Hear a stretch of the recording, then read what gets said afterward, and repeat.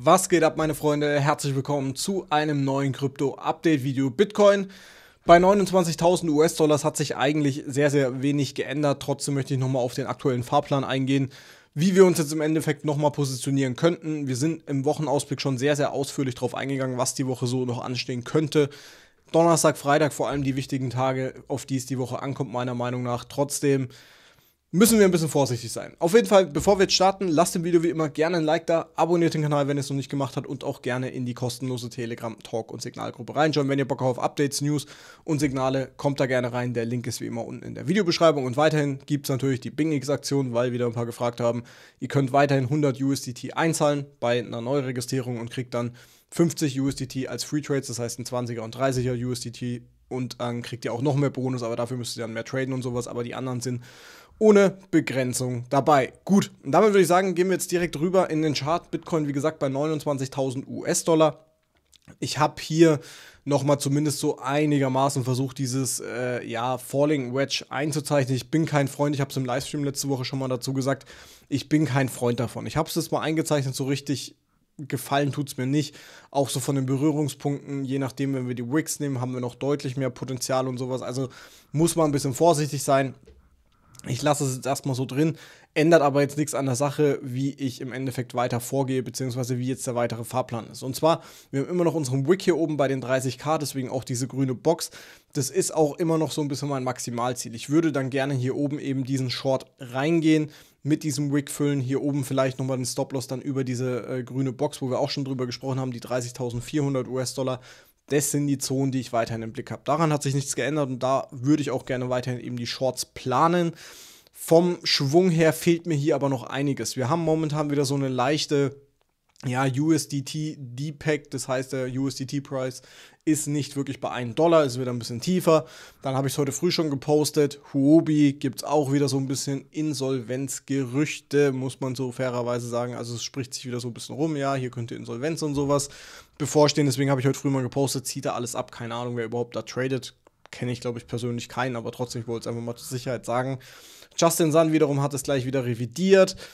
Deswegen ich weiß nicht, ich tue mir schwer momentan hier überhaupt noch einen Long irgendwie zu starten. Grundsätzlich, wie gesagt, ist halt das Ziel hier oben die 30,4 Maximum, beziehungsweise hier eben die 30k. Das ist das Ziel. Ob ich jetzt hier ganz ehrlich noch das Risiko eingehen möchte, hier den Long mit nach hoch zu nehmen und dann muss ich ja auch im Endeffekt hier das Risiko halt eingehen. Das sind zwar nur 1,3%, aber trotzdem weiß ich nicht. Da spekuliere ich derzeit nämlich ein bisschen eher drauf, dass wir möglicherweise hier im kleinen Golden Pocket maximal sogar nur bis 29,6 gehen. Dass wir hier vielleicht nochmal einen kleinen Versuch starten. Das heißt, die Oberkante hier dieses auch andererseits eingezeichneten äh, Falling Wedge hier nochmal reinzugehen und dann eben diesen Move nach unten hin mitzunehmen. Ich bin weiterhin shortlastig, habe ich euch ja letzte Woche schon gesagt. Wir haben die Woche Inflationsdaten, die rauskommen, Erzeugerpreise, die rauskommen, die äh, Stockmärkte, also ähm, nochmal kurzer Überblick zu machen.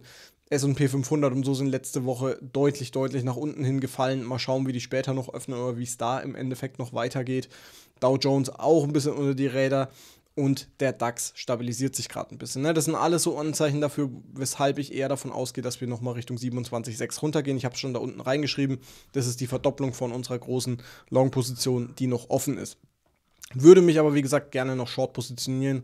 Entweder hier die 29,6 oder eben die 30k. Das sind so die Maximalziele, die ich einfach sehe. Und dann gehe ich ganz stark davon aus, dass wir Richtung 27,6 bis ungefähr 26.700 US-Dollar runterfallen. Das oder daran hat sich ehrlich gesagt nichts geändert. Mal kurz einen Blick auf den Daily werfen. Hier sieht es vielleicht ein bisschen schöner aus, wenn wir das jetzt mal so zeichnen mit dem äh, Falling Wedge, aber ist jetzt auch kein Paradebeispiel. Also muss man schon fairerweise so sagen, wir haben die Ineffizienz unter uns liegen. Die sollte meiner Meinung nach immer noch gefüllt werden. Das sind die wichtigsten Faktoren. Und ansonsten gibt es meiner Meinung nach hier zumindest wenig zu sagen. So, gehen wir rüber zu Ethereum. Wie sieht es dort aus? Auch hier ein bisschen Ernüchterung, derzeit zumindest, so, zumindest kleine Ernüchterung. Auch hier tut sie sehr, sehr wenig.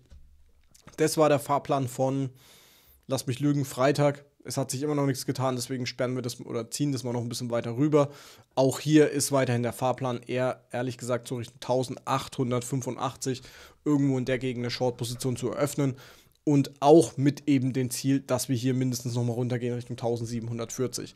Wir müssten uns das mal prozentual ganz kurz angucken. Heißt, wenn wir jetzt hier runtergehen, wären 5%, Gehen wir bei Bitcoin runter Richtung Golden Pocket, schauen wir uns auch mal an, wären es auch 5%. Also es würde so sehr, sehr gut passen, äh, prozentual zumindest von so einer Korrektur.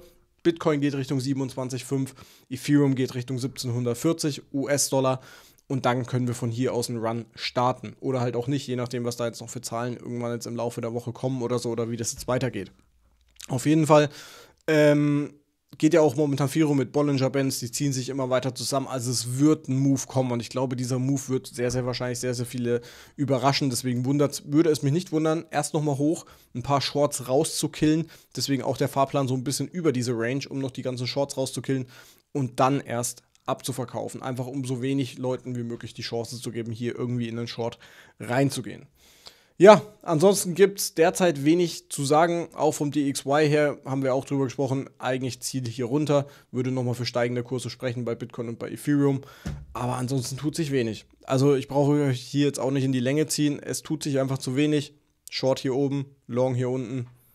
Mehr brauche ich derzeit nicht sagen. Ja, auf jeden Fall war es dann wieder fürs heutige Video. Trotzdem vielen, vielen Dank fürs Zuschauen. Like da lassen, Abo da lassen, würde ich mich riesig drüber freuen. Und ansonsten war es das von mir. Guten Start in die Woche und ja, bis morgen früh. Bis dahin, ciao, ciao und wie immer, stay crypto.